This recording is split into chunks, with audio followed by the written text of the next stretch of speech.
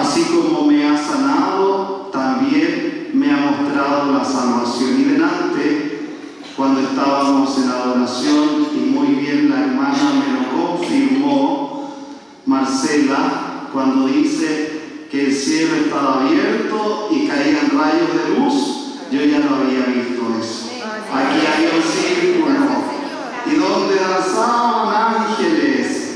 luz del Señor se posaba sobre nosotros. ¿Por qué? Porque adoramos a Jesús, porque ponemos al centro a Jesús, donde tu enfermo encontraron en él la palabra de eternidad, porque ahí comienza la sanación, cuando tú pones en el centro de tu vida a Jesús y tú le clamas a Jesús que me sane, que me libere, el Señor lo hace con poder, porque Él tiene poder.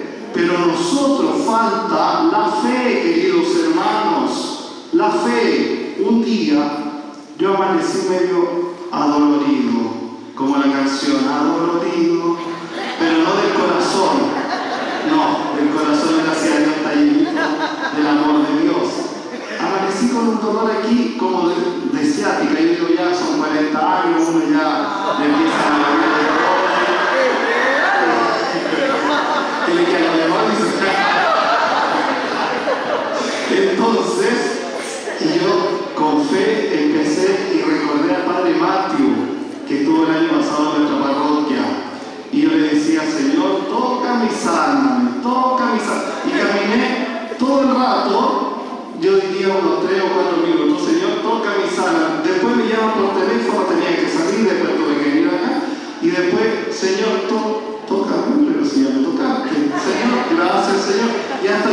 de que tenía ese reposo. Cuando tú lo haces con fe, con confianza, y tú le pides al Señor, el Señor actúa. El Señor actúa, queridos hermanos.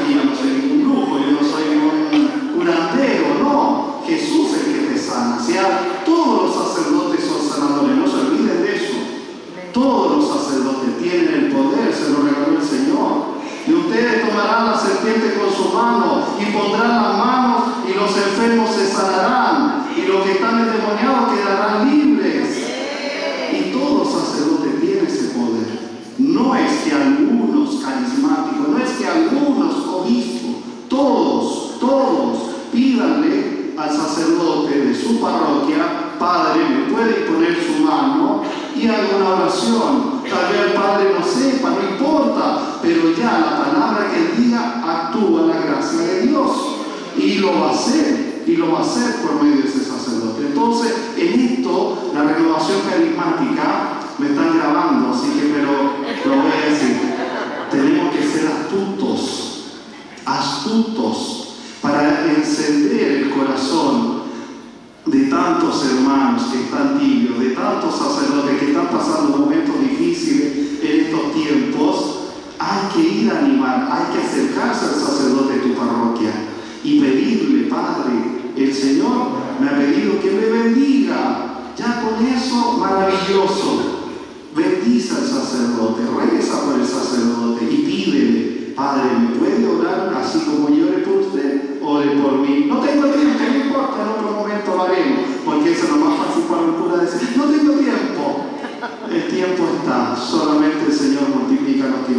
Pero es importante, es importante que esto lo comprendamos muy bien, porque el que sana a Jesús, el que sana a Jesús, el sacerdote es el que administra los sacramentos y el que actúa es Jesús. Y Él no se nos olvide. Por lo tanto, es importante cuando tú pides oración de sanación tener en cuenta la herida, saber cuál es tu herida.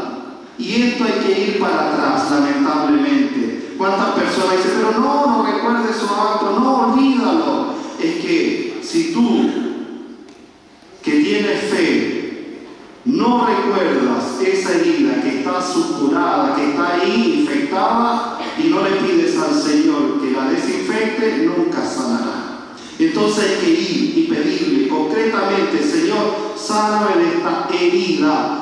Y ahí el Señor la sanará. Vamos a concretar entonces sobre esto. De manera básica, la herida es la consecuencia de la acción de herir, que en latín es ferire. Herir significa golpear, sacudir o dañar. El diccionario de María Moliner define el término herida como una lesión en algún lugar del cuerpo causado por un golpe, un arma o un accidente cualquiera.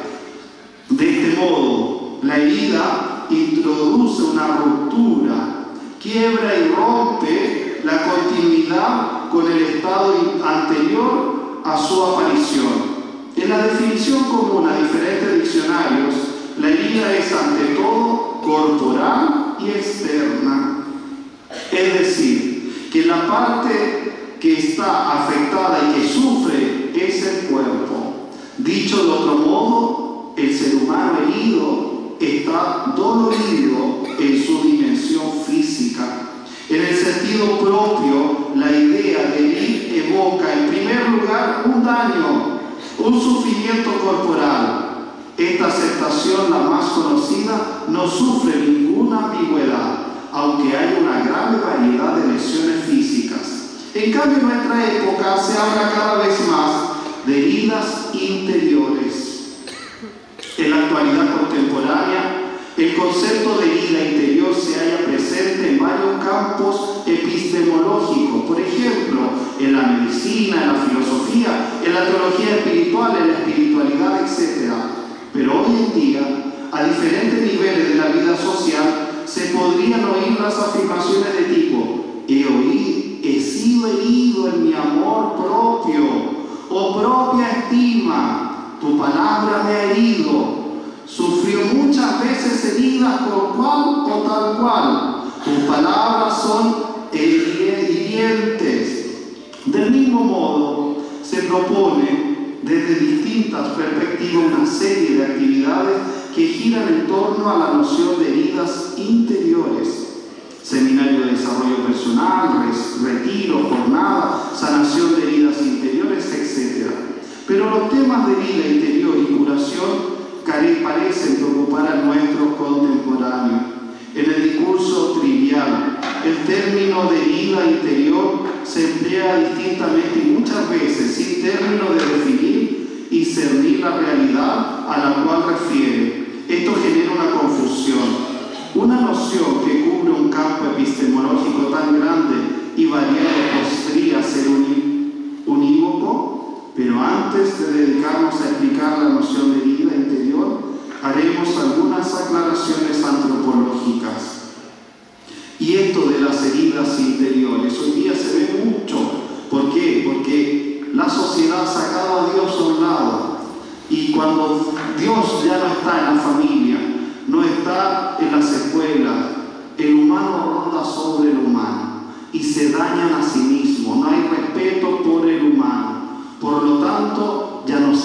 pecado, hay una confusión y eso lo vemos hoy día en los niños y en los jóvenes, sobre todo matrimonios jóvenes. Todos los modelos antropológigos distinguen en el ser humano un componente visible o físico y un componente invisible o inmaterial. Si todos están de acuerdo sobre la parte visible que es el cuerpo, todos no le conceden la misma dignidad. Del mismo modo respecto a los elementos a la naturaleza de su realización, con el cuerpo surge una gran divergencia.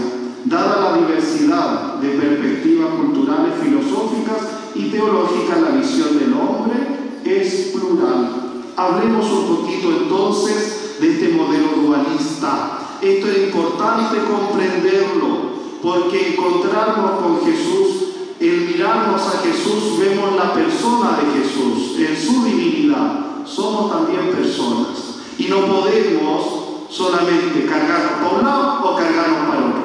Le, le explico. Vamos a ver el modelo dualista. La primera visión del ser humano más extendida en el cristianismo occidental considera a la persona como un compuesto de dos elementos, cuerpo y alma. Según Gaudete 73, número 14, el hombre es